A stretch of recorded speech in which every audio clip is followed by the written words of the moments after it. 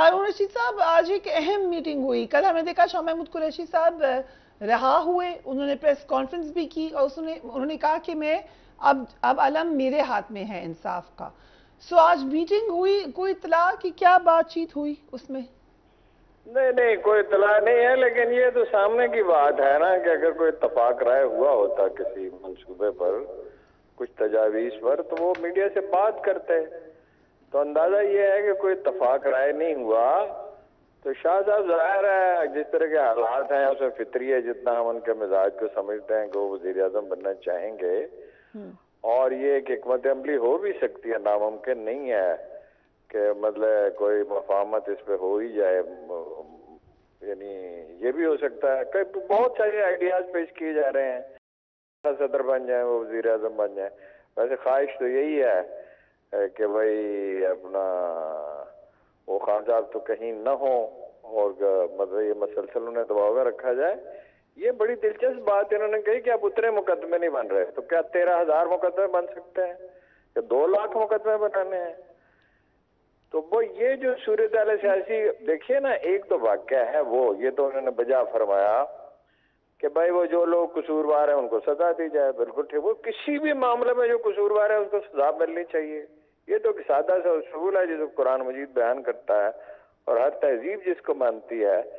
कभी इज्तमाही ज़िंदगी में बका का इसार जजा व सजा पे होता है। ये उसूल, ये है बेसिक प्रिंसिपल एक माशरे का। अदल हो रहा है तो माशरा जो जमा जुड़ा रहता है फरोग पाता है, तरक्की करता है। खुशहाली की तरफ़ जाता है लोग आसूदा होते हैं नहीं है तो सजा तो मिलनी चाहिए वो तो ठीक है।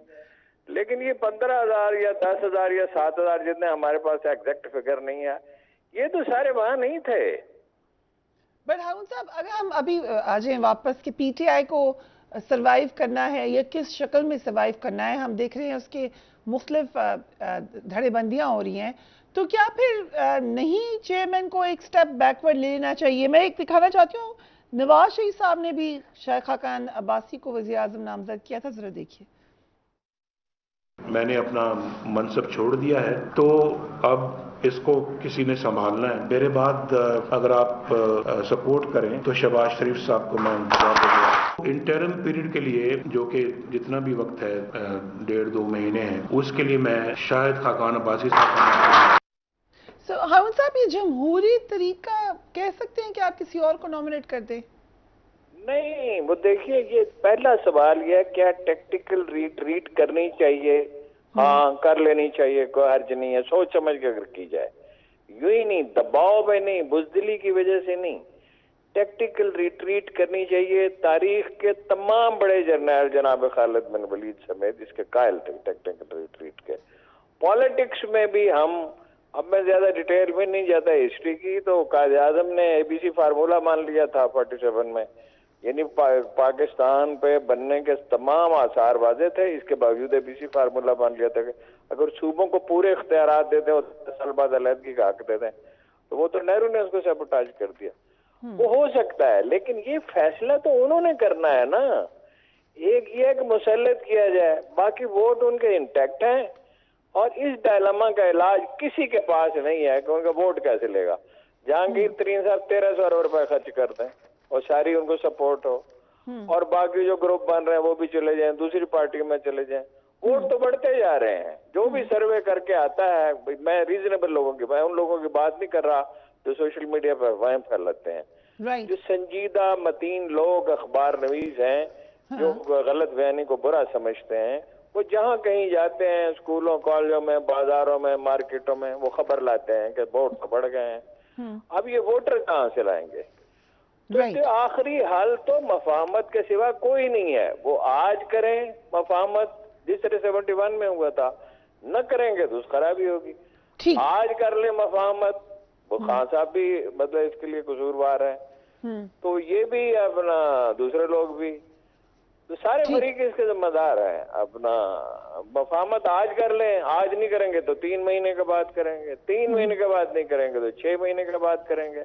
और इकोनॉमी की हालत ऐसी नहीं है कि बहुत देर तक इसको मुलतवी किया जाए। so, हारून साहब दूसरी तरफ़ पॉलिटिकल डेवलपमेंट हो रही है। अलीम खान साहब और जहांगीर तरीन साहब बड़े एक्टिव रहे। इस्तेकाम पार्टी में फवाद चौधरी साहब अली जैदी साहब ये लोग उसको ज्वाइन कर हैं। कौन सी पार्टी को आप देख रहे हैं कि फिर वो ज़्यादा स्ट्रांग बनेगी? किसी को भी नहीं।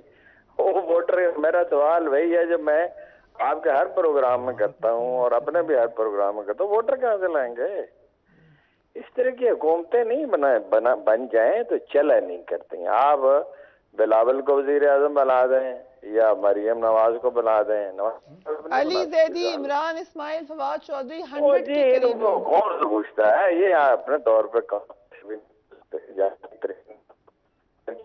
और किया था यानी वेलफेयर के प्रोजेक्ट्स पे इलेक्शन से पहले ही खर्च किया था।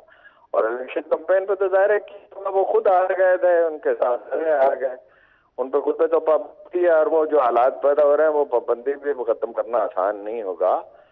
ज़ोर ज़बरदस्ती के हुकूमतें नहीं चला करती, बिल्कुल मफाहमत के सिवा। देखे ना, ये तय कर लिया कि को नहीं बनने देना।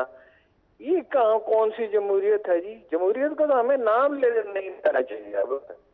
और मैं देखा सुप्रीम कोर्ट रिलेवेंट हुई तकरीबन, जो फैसले करने का वक्त गुजर गया। वो तो ये उनकी नीयत में तो मैं शुभ नहीं करता, चीफ जस्टिस साहब के, मैं तो उनका बहुत कायल हूँ। मेरे दिल में उनका बहुत एहतराम है। लेकिन या तो वो फैसला कर डालते हैं अब क्या फैसला करेंगे? और मीडिया भी रेलिवेंट होता है चला जा रहा है दबाव के तहत। और मेरा अंदाज़ा ये है मेरी मालूम ने अंदाज़ा ये कि सोशल मीडिया पे पाबंदियाँ लगेंगी या क्रैक डाउन होगा।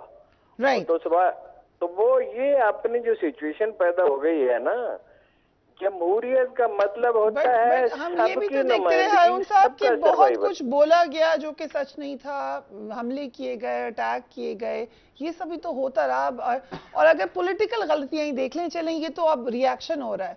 लेकिन कहाँ कहाँ पे आप समझते हैं कि फिर गलती हुई है? पीटीआई से भी गलती हुई है पीटीआई के चेयरमैन से पीटीआई से दर्जनों गलतियाँ हुई हैं एक आध नहीं। अगर अब आप उसको शुमार करने लगे मतलब मरदम चनासी नहीं होते कैसे लोगों को दिए गए, जो पहली आंधी में हवा के तरह उड़ गए।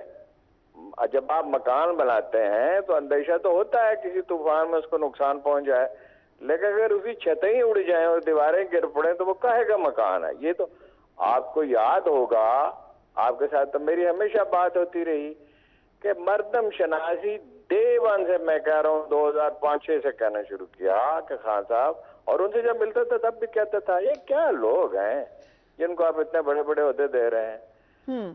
सो मर्दम शनासी प्लस जो डिसीज़न दिए हैं। साहब पार्लियामेंट से वॉकआउट कर दिया। हवाले से एक बात आप सर्च करता जी। एक तो मैं ये कहता रहा मसलसल के भाई अपना पार्टी की तंजीम और ये चीज़ें और फला आपको याद ही है किन चीज़ों पर मैं ज़ोर देता रहा। और उसके बगैर नहीं हो सकता। फिर ये देखिए ना ये भी मैंने अर्ज़ किया बारहा आपके प्रोग्राम में भी एक दफ़ा कहा कि अमेरिका को मैसेज दें हमारा आपसे कोई झगड़ा नहीं है। और अमेरिकी हमें हम, पाकिस्तान को से तल्लुकात को खत्म नहीं करना चाहते। कुछ चीज़ें मनवाना चाहते हैं वो आपकी जैसी पोजीशन होगी माशी तौर पर जितने मज़बूत होंगे उतना आप रजिस्ट कर सकते हैं। हम्म। और अपोजिशन से कहें कि कोई इंतकामी कार्रवाई नहीं होगी अदारे प्रॉपर बनाएँगे एहतसाब होगा। सबसे पहले मैं अपनी पार्टी के लोगों को एहतसाब के लिए पेश करूँगा। है जी? और अपने कारकुनों को सिखाएँ कि जज्बा होता है अच्छा होता है। हम्म। लेकिन ये सब्र भी एक चीज़ होती है। वो हम कहते हैं गालिब इसलिए मीर से बड़े शायर हैं हम्म। कि उनमें सिर्फ़ जज्बे एहसास की शिद्दत नहीं है तकुल भी है भी है। ठीक है हारून साहब अगर ये वो तो गलतियाँ तो है इनकी भी। लेकिन हम्म। ये कहाँ का निज़ाम और कौन सी जमहूरियत है? गलतियाँ इन्होंने भी की और ऐसी पार्टी में जिनके सरबराहों के दुनिया भर में चर्चा लूट मार का। तो जमहूरियत का मतलब है सब लोग पार्टिसिपेट करें और सबका सर्वाइव हो ये बात इनमें कोई भी नहीं समझता। ये हम्म। समझता है तो मगरूब है जिस बात से।